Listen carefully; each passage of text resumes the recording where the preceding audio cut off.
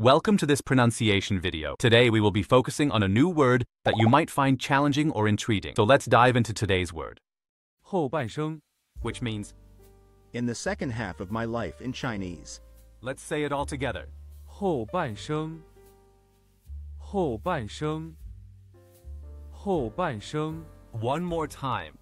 后半生，后半生，后半生。